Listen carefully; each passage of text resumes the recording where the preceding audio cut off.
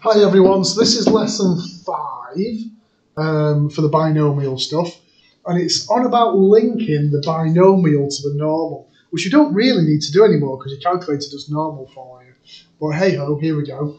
So if you look at this first graph, it goes from zero through to 10, and it's symmetric. Now if it's symmetric, it will have a p-value of 0.5.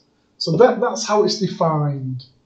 Now, what you don't know, and it says down here, uh, is because we've not really talked about the average and the variance and the standard deviation. But that mu value of 5 comes from 10 times by 0.5, n times by p. Now that's your average, that's your mean, but it's when we make it into a normal distribution, which we've not done yet. The next one is something called the variance. So the variance is 10 times by 0.5 times by 0.5. It's n times by p times by 1 minus p. And that gives me the 2.5 out. If I square root it, it's the standard deviation, which we've not really done yet either, I don't think. But never mind.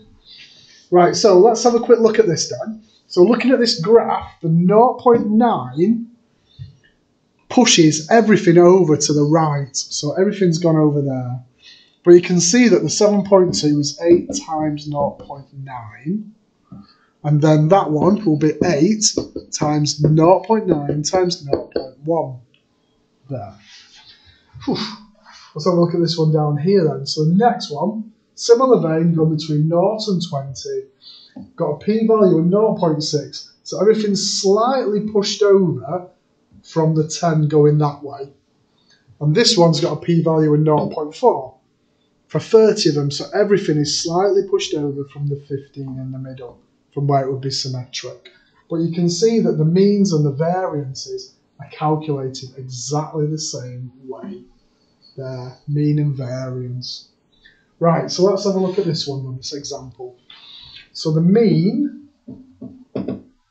which is Uh, which is mu for the population, x bar for a sample, is just 15 times 0.65.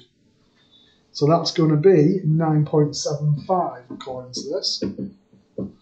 And then the variance, the sigma squared value, is 15 times 0.65 times by 0.35. There. And that gives us 3.41 roughly sigma squared. Now your standard deviation, sigma, is the square root of your 3.41.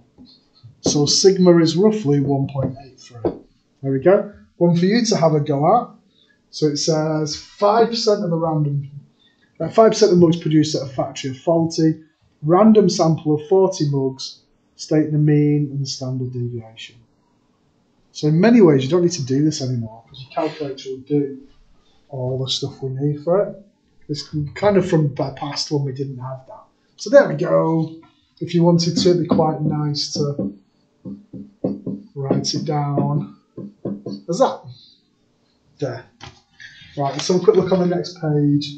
so I'm on three, three hours 42. Not three hours, my word. It Might feel like it. Three minutes 42. Right, I'm going to stop it and I'll do another example. Okay?